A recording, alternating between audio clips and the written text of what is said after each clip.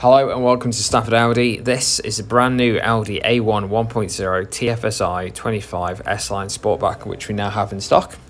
It's petrol, manual, it's a hatchback and it's done around 20 miles on the clock. It comes with the daytime running LED headlights. We've got the 17 inch 5 twin spoke design partly finished alloy wheels. It does come with the S-Line exterior styling pack which includes the front spoiler and rear differ diffuser clips in matte platinum grey and also the S-Line roof spoiler. This vehicle does come with three years warranty and also three years roadside assistance. We also have rear parking sensors as well, which are really helpful when you're trying to get in those tight car parking spaces. As we take a quick look in the boot for you, it's a 335 litre boot. Now if that wasn't quite enough room for your shopping, then the back seats do fold down as well.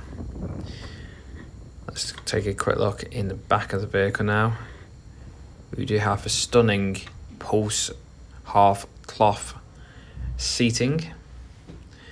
There's enough room for two full child car seats in the back. So here we are in the interior of the vehicle. We've got the multi-functional steering wheel here with the S-Line logo at the bottom. These controls do personalise cockpit display, so uh, you can personalize it to whatever information you desire, whether it's information about the vehicle you want to see, or you want to select your favorite radio station on DAB digital radio, which is built into this vehicle, you can do. And once your phone is connected via Bluetooth, you can operate your phone there as well. You've got the volume controls over here, and once your phone is connected via Bluetooth, you can take calls and reject calls using those buttons. Over to the right are the light controls, I've got central locking, all four windows are electric and we've got electric mirrors as well.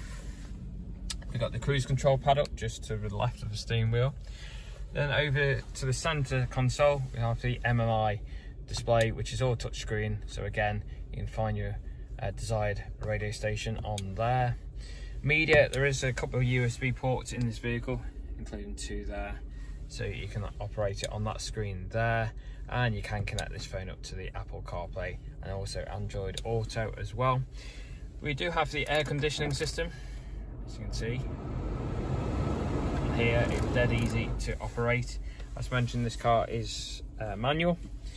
We've got the handbrake and also we've got a couple of cup holders there as well. For more information on this A1, please give us a call here at Stafford Audi on 01785 319 041.